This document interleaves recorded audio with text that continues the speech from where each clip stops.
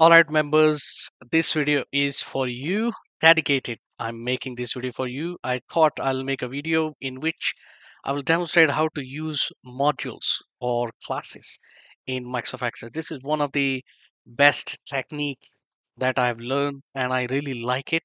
Uh, and I thought I'll share with you all that how to use modules or classes or functions to actually uh, perform the tasks such as CRUD operation uh, or fetching the information. Or and, and, and it's very very handy functionality that uh, in Microsoft Access and other languages I also I think uh, they provide as well. So this video initially is dedicated for you. Maybe if you will allow, and let me know in the comments, if you allow, I can publish this video to the general public after like 20 days or 25 days, something like that, if you'll allow, because you are the member. So you have to, you know, tell me the comments that yes, I can publish it to the general public, and uh, I think they can also get benefited. But first, it is for you. Now, what I'm going to do is I'm going to write a VBA code, and I'm going to write a code with the record sets. We are going to create the record, and we are going to transfer it from this form to the table. And this is a little form, you know, this is continuous form. Eh, On the header, we have four unbound boxes and we have create button and update button as well. So first I will show you the way, you know, regular way of doing the VBA records using the VBA record set and creating the information. Then we will create a module class and we will use that uh, to create the record. All right, so we'll go to the design view and we will now uh, actually click on we can see that these are the four text boxes with txt txt uh, names. And this is the uh, continuous form uh, uh, in the tabular view. So we'll click on create button. We'll go to the event tab dot dot dot and code builder. And in here we will provide uh, we will start creating the variables. So we'll say dim rs create create as a record set. All right? And then we'll say uh, set rs create equals current db dot open record set parenthesis open and we'll give the name of the record set which is basically the table. Okay so product prod all right and that's it. And then we'll say rs create dot add new and rs create dot date. Okay so we'll give three lines of code in here to update this uh, three text boxes information uh, to trans- transfer it to the table because the product ID itself actually should be hid. Uh, it should be locked out because uh, we don't want user to provide a, a, uh user uh, the product ID from their side. So it has to be automatic. Okay, now let's provide the information. So for that, I usually like to go to the table and I like to actually um, Uh, use this copy and paste function. So say rs create and the product name equals me dot txt product name. All right. Then the next one we have cost price. So rs create exclamation mark cost price.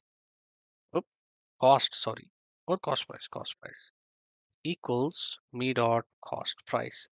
Then we have RSP. So rs create exclamation mark RSP equals me dot txt RSP or sales price. Okay, I have to be very careful. I don't want to use the incorrect name, otherwise we will get an error. All right. All right. So with this three line of code, the data will be transferred from the form to the table. But once the product ID gets updated or created, I want to fetch that and I want to populate that onto this txt product ID uh, text box. So to do that, I will be using the dmax function in Access. So I'll say me dot txt product ID equals um, dmax and parenthesis open, and it is asking uh, what are you looking for? Well, I'm looking for product ID. And what's the domain? Domain basically is the name of the table or query, but we are looking at the tables here, so we'll give the table name.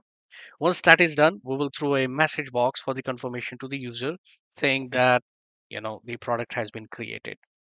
And we will say in fact, before that, I would like to requery this form itself. So whatever product we have created, that gets updated in the continuous form here. So to do that, I will simply say me dot requery. Okay.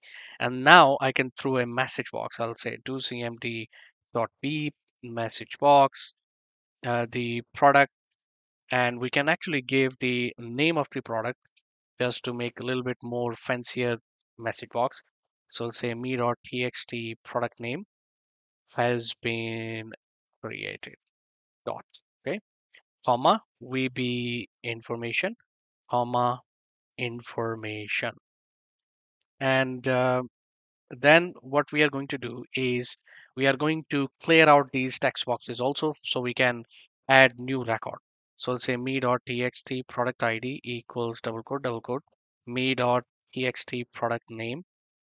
And oops sorry me.txt product name equals double quote double quote me dot txt cost price equals double quote double quote me dot so double quote double quote is to clear out the text boxes. me dot txt uh, sale price equals double quote double quote.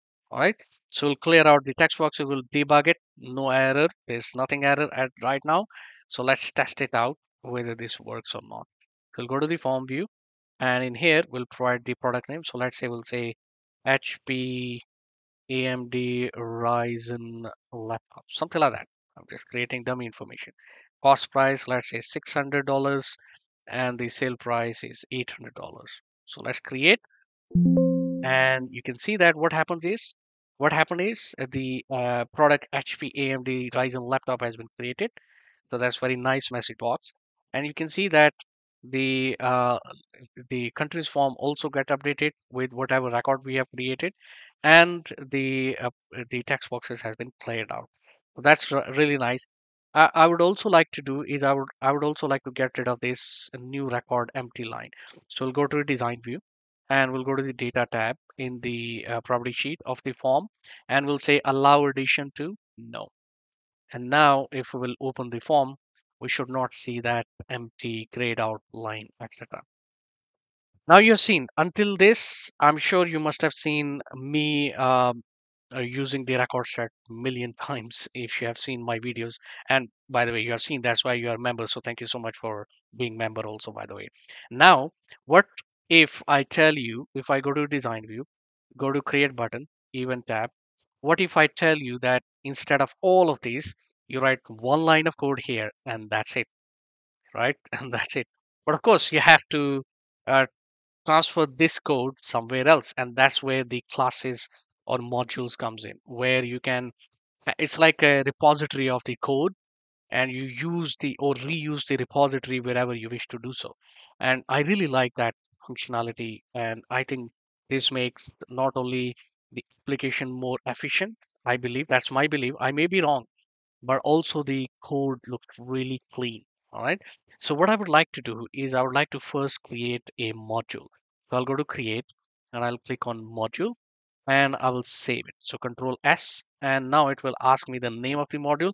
And generally what I like to do is I would like to call global mod. Mod is short term of or short name of module.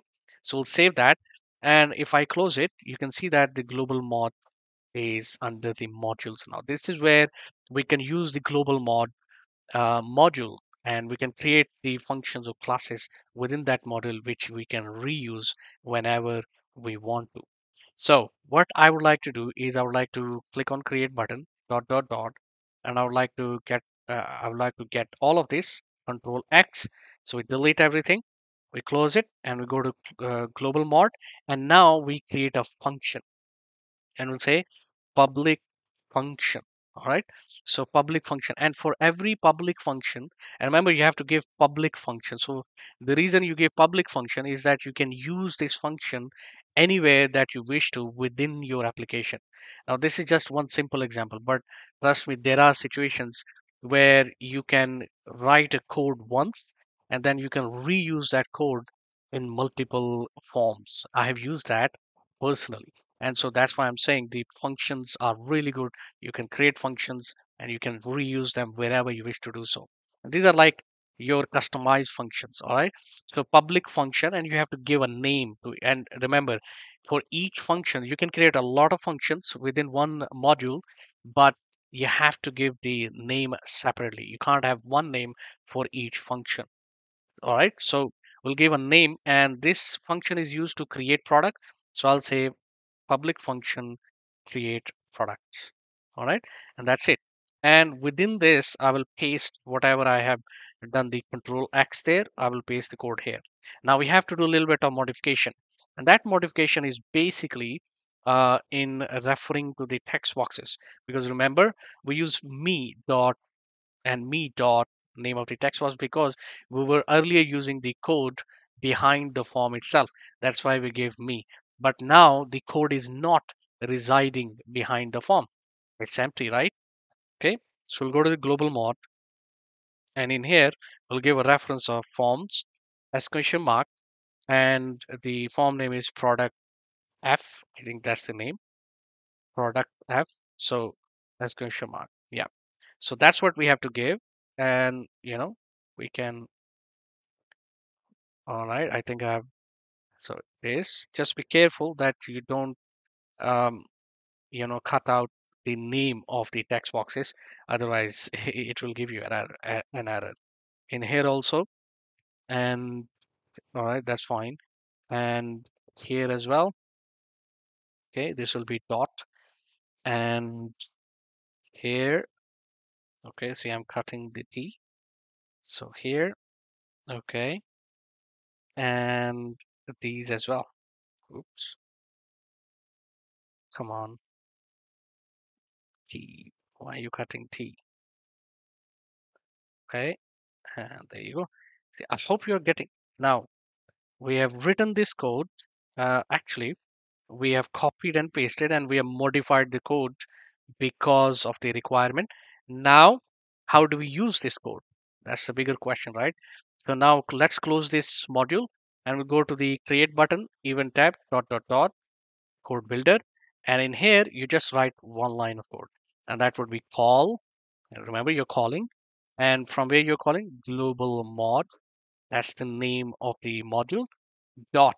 Once you press dot, whatever functions you have created, whatever classes you have created, I think they are also called classes. Please, uh, I don't know whether because I have not studied this coding, I've not studied access or something. So sometime I maybe use my own understanding while explaining. So if they are called classes or function, just function or classes, I don't know. But what I know is whatever I've written, it worked. Okay, that's what I know. That's what I'm I'm demonstrating. So I use the function that I've just created. So just one line of code, debug it, save it, and now let's test it out whether this actually works or not. So we'll go ahead and we'll create another product. And this time we will create a product, let's say Lenovo AMD Ryzen laptop. Okay.